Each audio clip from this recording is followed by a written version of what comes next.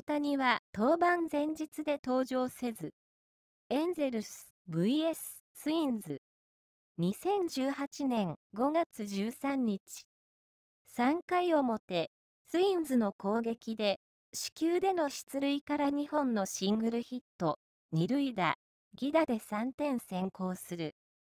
同裏1点6回裏1点7回裏1点と小刻みに返して同点にするが9回での決着がつかず延長戦に入る。11回裏エンゼルスが西満塁のチャンスを作るが無得点。逆に12回表にヒット2塁打ヒットの3本の安打で2失点してしまう。12回裏エンゼルスは無得点。試合結果エンゼルス3の5ツインズ。ヒット数、エンゼルス7本、ツインズ10本。今日はアストロズが勝っており、エンゼルスはアリーグ西地区2位に。大谷、アストーバン、投手目線で、ツインズ、強力打線を研究。エンゼルスの大谷翔平投手が、13日午後1時7分、日本時間14日午前5時7分開始のツインズ戦で、メジャー6度目の登板に臨む。登板前日の12日、同13日の試合は欠場。フィールドでの打撃練習は行わず、キャッチボールやランニングで最終調整を行った。登板前日は相手打者の研究デーでもある。4番指名打者 DH で出場した11日、同12日、ツインズ打線について、どちらかというと、相手投手の方に集中していたので、バッターの特徴を捉えるくらいでしたけど、これから明日も時間ありますし、しっかり見たいと話した。DH で出場時は、基本的には、ベンチから相手投手の研究に集中し、打者として準備を行う。登板前日は欠場するため、投手目線から相手打者の研究に集中できる。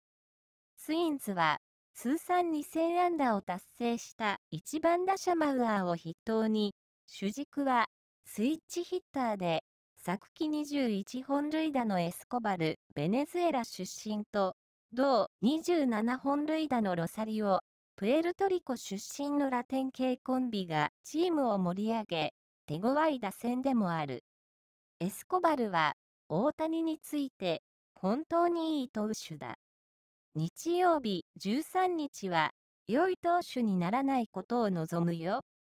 はっはっはとジョークを飛ばす。大谷が敵陣からの冗談のような挑発を跳ね返せるか、注目だ。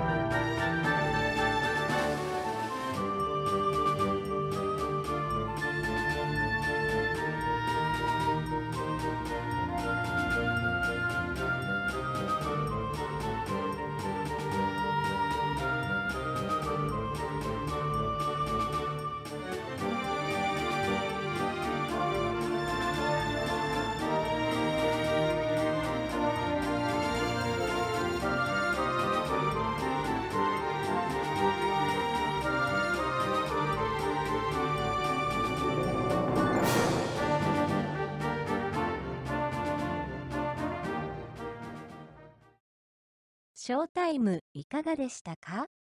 チャンネル登録お願いいたします。どんどん新しいものを紹介していきますので、ぜひまたいらしてくださいね。それではまた。